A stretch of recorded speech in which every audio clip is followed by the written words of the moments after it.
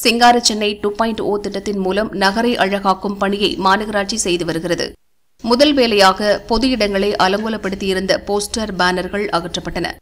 சென்னை மாநகராட்சி கவுன்சிலர்கள் பொறுப்பேற்பதற்கு முன் இரண்டு லட்சம் போஸ்டர்கள் ஆயிரத்திற்கும் மேற்பட்ட பேனர்கள் நூற்றுக்கும் மேற்பட்ட சுவர் விளம்பரங்கள் அழிக்கப்பட்டன.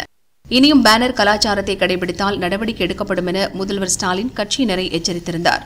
போஸ்டர் ஒட்டியவர்கள் பேனர் வைத்தவர்கள் மீது போலீசில் புகார் அளிக்கப்பட்டு நடவடிக்கை எடுக்கப்பட்டது. மாநகராட்சி சார்பில் அபராதமும் விதிக்கப்பட்டது.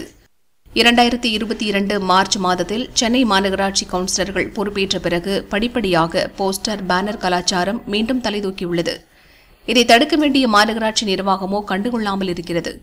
போஸ்டர் பேனர் அகற்ற நடவடிக்கை எடுத்தால் டிரான்ஸ்பர் செய்துவிடுவோம் என கவுன்சிலர்கள் மிரட்டுவதால் சுதந்திரமாக செயல்பட முடியவில்லை என்கின்றனர் மாநகராட்சி அதிகாரிகள்.